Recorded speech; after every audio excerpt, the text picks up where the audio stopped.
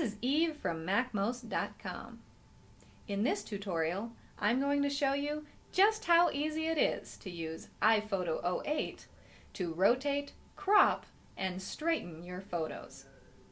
First, navigate to the picture you'd like to use. Here's an old picture I scanned of my grandpa, looking dashing in his uniform. It needs to be rotated, cropped, and straightened. To rotate any photo 90 degrees, just hit the rotate button.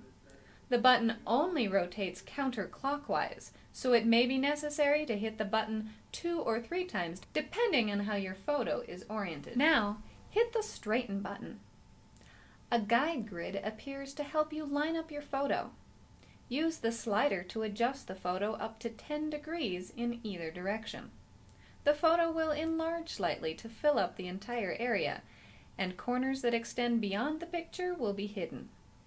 I'm going to line up the edges of this photo with the yellow lines, which is only a slight adjustment of 0.4 negative degrees. Click the X to close the adjustment slider and get rid of the guidelines. Finally, I'm going to crop the white border off this picture. When I click the crop button, a number of options appear. If you have a standard ratio picture, it's probably a good idea to click the Constrain box.